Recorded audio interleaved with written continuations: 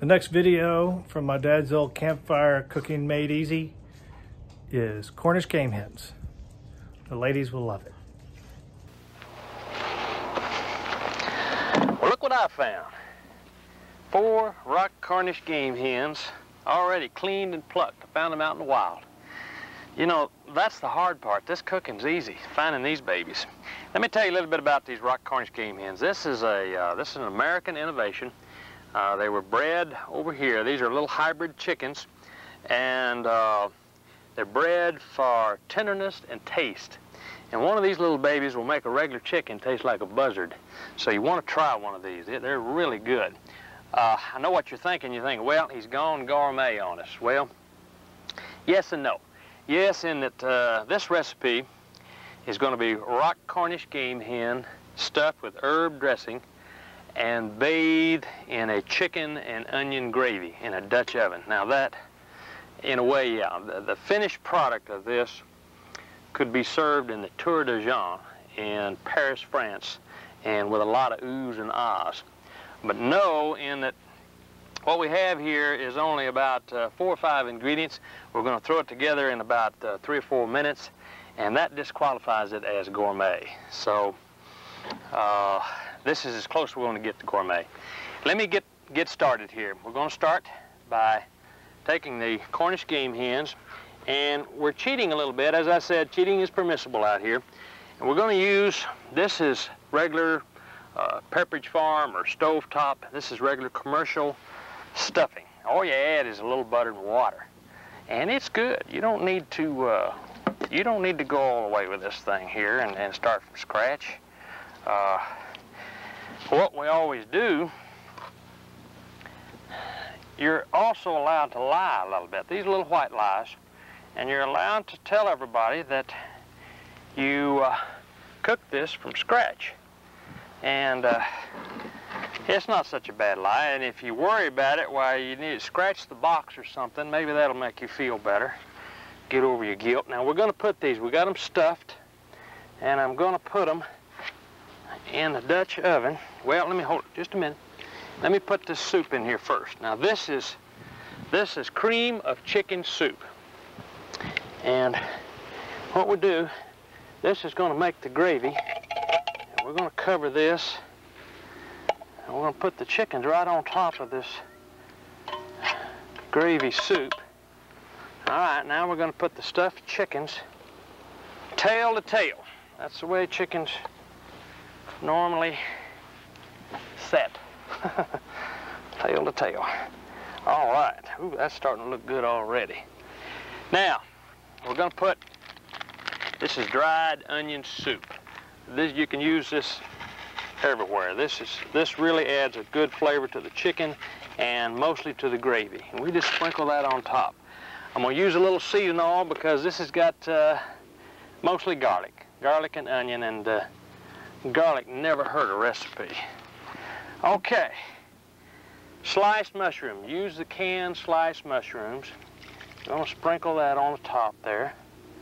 Ooh, okay. Don't don't use uh, fresh mushrooms because they're a little too pungent for uh, for Cornish game hens. Now pimento. This is a little jar of pimento, and this gives it a little flavor and a lot of color. Makes it look pretty. Now, always squirt a little butter. Just to kind of cover it up. We're going to cook this for about an hour. I've got some, oh, about medium about uh, three to four seconds, about medium heat. I'm going to put it on the medium heat. Okay. And, and I'm going to put the lid on. And the beauty about this thing is it is, it is a meal in one. And uh, like some of the other meals, we can get it going and then go hiking or fishing just goofing off, you know, whatever we want to do. Now, I'm gonna fill this, I'm gonna fill this lid with coals, if I can get any, and come back in about an hour.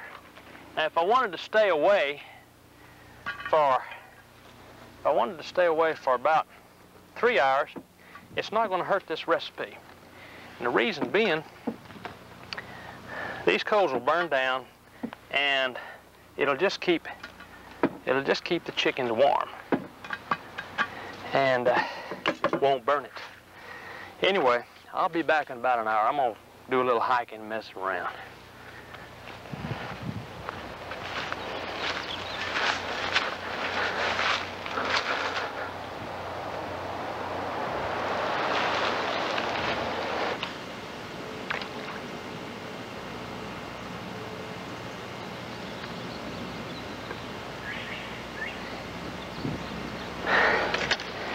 I'm sure glad of one thing.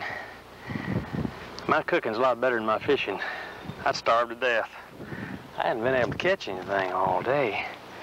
But the whole time I was out there, these little Cornish game hens were stewing and baking nice golden brown. Oh, looky there. Mercy me. Gosh, that looks good.